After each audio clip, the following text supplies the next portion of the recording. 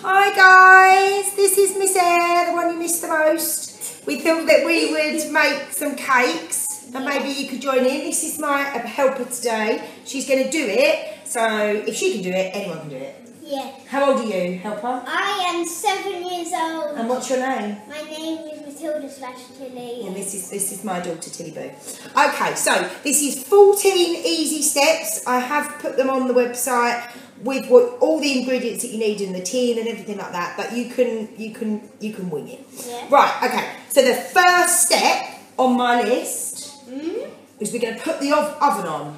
The oven. And yeah. why do we do that? So it can heat up. Exactly. So we're going to put it on 160 degrees or 325 Fahrenheit. So I'm just going to do that. Yes. Because they're the same. They are. Okay. And I- back. So that's heating up now. Um, and then we're gonna. The next thing we're gonna do, we're gonna line a tin with grease-proof paper. Now this is grease-proof paper. Get it from Tesco's or wherever. And the tin is about 20 centimeters by 20 centimeters. Now I've got this cake tin, which is not that. It's about it's about that.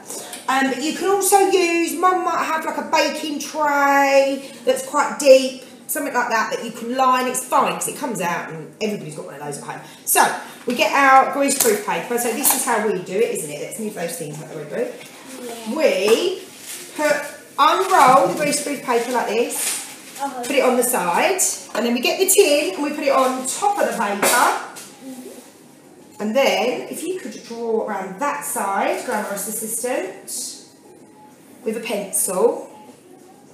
Okay, and then I'll do this side just because you can't reach it. yeah, I'll be like, like that all the time. Okay, so then you can see, whew, this is my greaseproof paper with a square on it. So then what I do is I use my scissors to cut cut out. Do you want to do that, darling? Yes. Let's move this. I love cutting. Every day.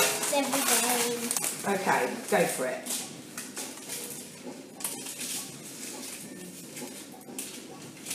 So I hope that you'll make this. Your mum's dads will remember this. It's a tray bake with sprinkles that they would have had at school.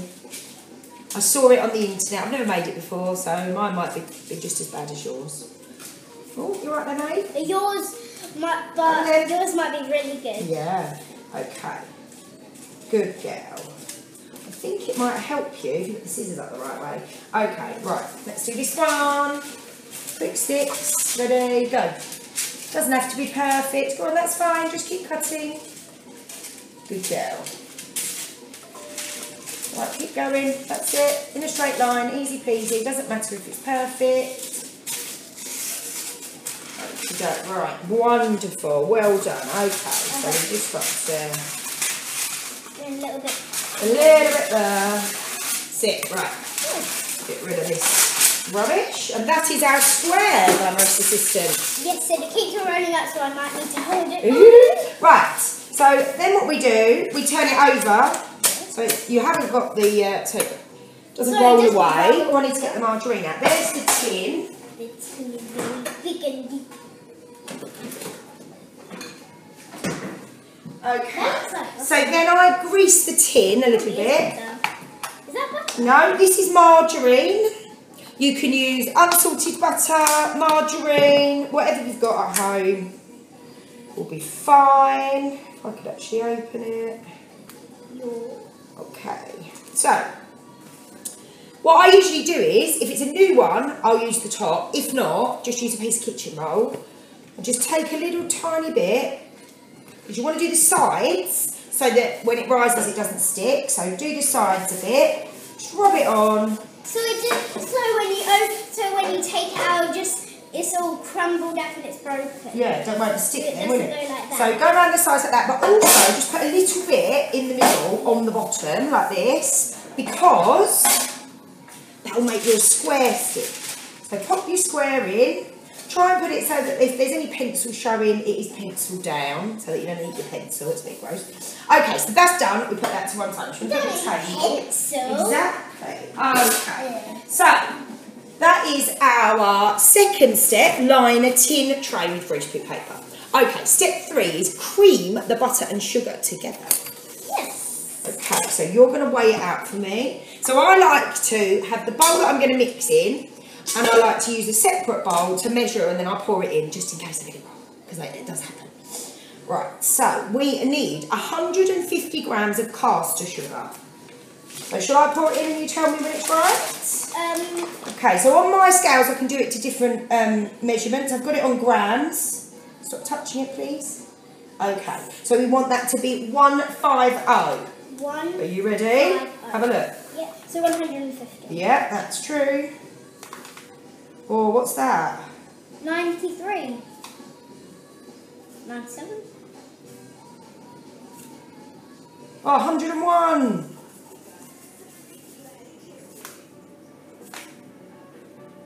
There you go. Look, that's. Oh, wait, that's 149. I am very bit specific about my baking. Yeah. I've believed that anybody, anybody can bake. You just have to do the recipe exactly. I'm a bit of a stickler for the rules. Yeah. Okay, so then that. Do you want to tick that in there, hun? Right, and what's the next one? Butter. Dip it all in. Wonderful. Right, pop it back on. Make sure it's zero again. Okay, it's still zero. Oh, Oh, no, it's two. Let's make it zero. Zero. Okay, Yeah. so now I'm going to put the That's a lot. margarine in. I'm not going to put it on there actually. Smells really good. What already? Just the sugar? No, that. I'm going to put my margarine in a different container. The margarine actually, smells really sticky. good. Okay, start again. Okay, so tell me when it's 150, hun. Whoop. Okay, so a lot. Oh, nearly there. How many more do I need to make it 150? You need. If it's 125, what are we going to add to it? You need 25. Yeah. Go on. She doesn't get her math skills from her mum. There you go, 150. Right, tip that in as well. Woo! Oh, Did it all go in? Wonderful, that's fine. Okay, so now we're going to mix it up. There for a minute. yeah. We don't need. it. Just get our mixer. Yeah, mix, mix. Now today I'm using Tilly's mixer. Yes. We've got two because We've she got- likes to have her own. Yeah, because we wanted one of the things like go underneath and then it were the ones that like mix wrap. One broke, didn't One it? of those. So we wanted one of those but actually came with a whole one. So uh, mummy made it mine so we have one each. We do. We're very lucky, aren't But we? how do you know which ones um which one's which? Oh, it's at the forefront of my mind every time I use it. Which one's which? Right. Okay. So we put our.